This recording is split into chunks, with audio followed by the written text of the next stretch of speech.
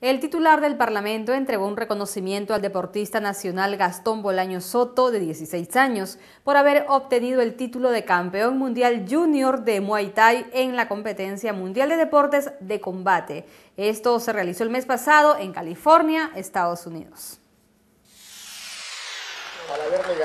Gastón Bolaño Soto, campeón mundial junior de Muay Thai en la competencia de deportes de combate realizada en Estados Unidos, recibió un justo reconocimiento por parte del Congreso de la República. Muchas gracias y creo que ya nos deberíamos dar cuenta ¿no? que es momento para apoyar el deporte. ¿no? Ya esta es una muestra de que talento hay, tenemos el talento, solamente nos falta el apoyo. Desde aquí y el compromiso de poder apoyar a la federación eh, con la la afirmación de tener una federación deportiva de Muay Thai, sabemos que no está reconocida. Durante la ceremonia se dio a conocer que también se le entregó al campeón mundial un incentivo económico, aunque no se precisó el monto. El Muay Thai es un deporte de contacto y arte marcial a la vez.